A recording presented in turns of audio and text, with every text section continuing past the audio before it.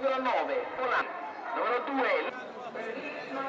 Accogliamo con un forte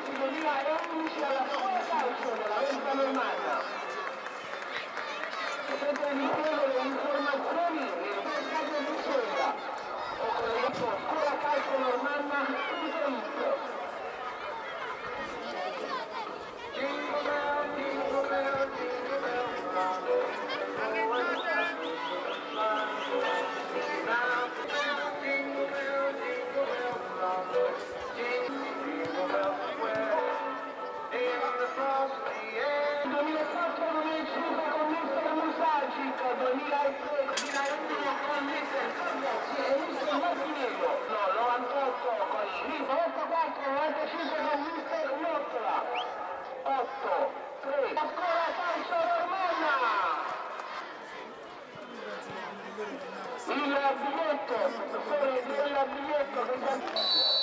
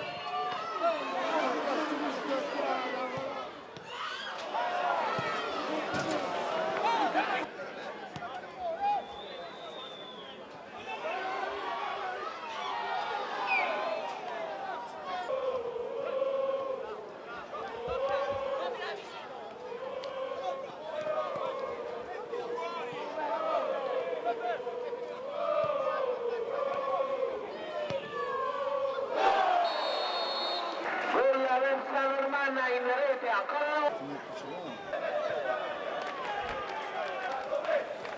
Il, eh, il gol del 2-0 su rigore che il signore di, di, Barletta ha decretato quando anche i giocatori del Latina non si sono resi conto no ma la cosa che fa sorridere è il, è che non sapeva chi ammonire l'arbitro, voleva ammonire Di Girolamo. Però ripeto, questo non deve andare a discapito della vittoria del Latina perché l'ha meritata come noi avevamo meritato Avellino. Quindi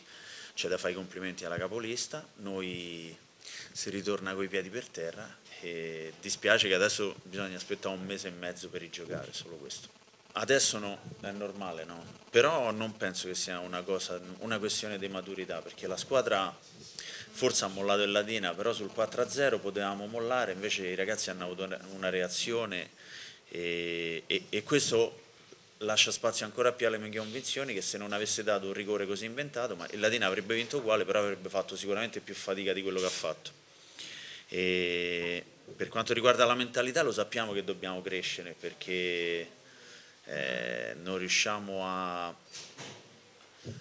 dire, a rimanere agganciati al, al, treno importante o a fare, anche se, ripeto, 23 punti non sono pochi, però per quello che è stato l'andazzo del campionato, per le occasioni che abbiamo sbagliato, sicuramente abbiamo da recriminare. Siccome ci abbiamo tutto il tempo perché non siamo lontani dalla zona importante, anzi mi sa che siamo, siamo, quinti, siamo quinti in classifica, quindi chiudiamo l'andata in zona playoff